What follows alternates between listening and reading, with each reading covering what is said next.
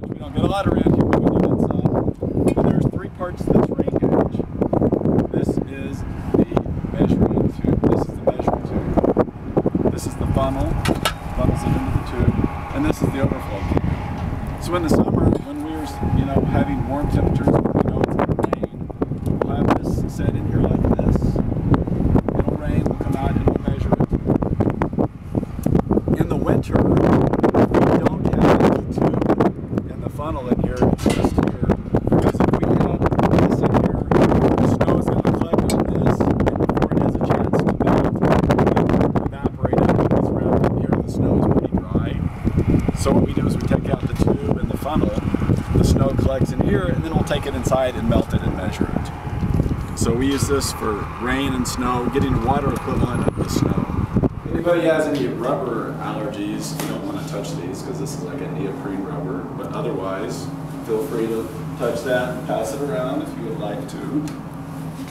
Cool. Does it feel like rubber gloves? Do they get old a lot?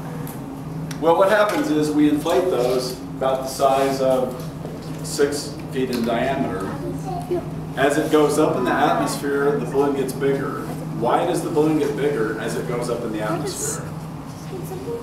You know? Why does the balloon get bigger as it goes higher in the atmosphere? Do you know? More, more air pressure. Okay. More air pressure?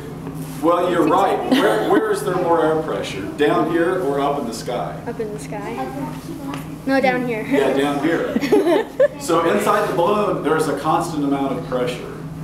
But as it goes up in the sky, there's less pressure. That balloon has to compensate for that. So to do so, it gets bigger and bigger and bigger. And as it gets big enough, um, about an hour and 45 minutes after we do the launch, it'll be as big around as the inside of this building. and then Wow. So That's pretty big. This is what the balloon is like. How high would that reach then? When Um, it finally, A typical height is about 19 miles. wow. 100,000 feet, 33,000 meters, something like that. so we have the balloon. We attach a parachute to the bottom of the balloon, so when the balloon bursts, the, the uh, whole flight doesn't come down and injure somebody or somebody's property. That um, instrument that I showed you in there, the radiosonde, they're not real heavy, but they can, they could do a little bit of damage. So we gotta account for that.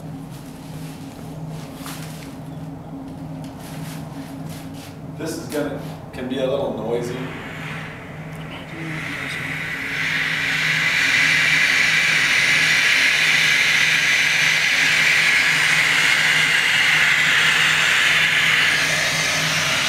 Notice I'm not touching that with my hand. Mm-hmm.